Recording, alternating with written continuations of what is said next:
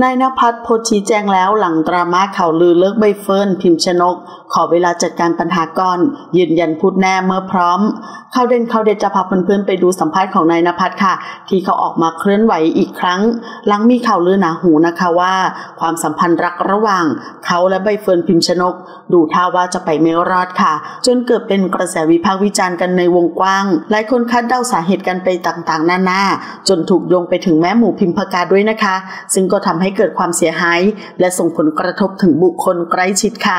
ล่าสุดวันที่ 26 มิถุนายน ดาราหนุ่มนายนภัสก็ได้ออกมาเคลื่อนไหวผ่านทางอินสตาแกรมส่วนตัวนะคะ โดยเขาใช้พื้นที่ดังกล่าว ในการออกมาชี้แจงถึงกระแสข่าวลือที่กำลังเกิดขึ้นในตอนนี้ค่ะ ซึ่งกำลังลุกลามไปในทางที่ติดลบขึ้นเรื่อยๆ เจ้าตัวบอกนะคะว่า ขอใช้เวลาในการจัดการเรื่องราวภายในก่อน แล้วจะออกมาชี้แจงอย่างเป็นทางการอีกครั้งก่อนจะขอบคุณทุกกำลังใจ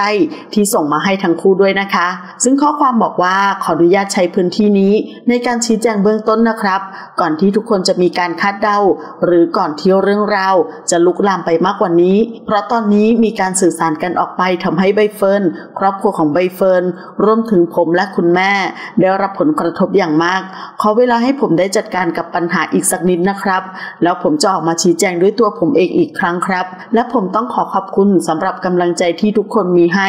ผมและใบเฟิร์นนะครับ ขอบคุณครับ ซึ่งด้านคนบันเทิงเองก็แห่เข้ามาให้กำลังใจทั้งนายและใบเฟิร์นผ่านทางใต้โพสต์ดังกล่าวนะคะ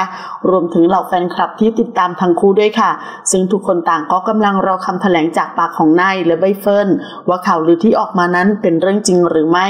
หากมีความเคลื่อนไหวยังไง เราจะรีบมานำเสนอให้ทันทีนะคะ และก็ขอเป็นกำลังใจให้กับคนทั้งคู่ด้วยค่ะ ขอขอบคุณข้อมูลจาก TheTiger.com ขอบคุณค่ะ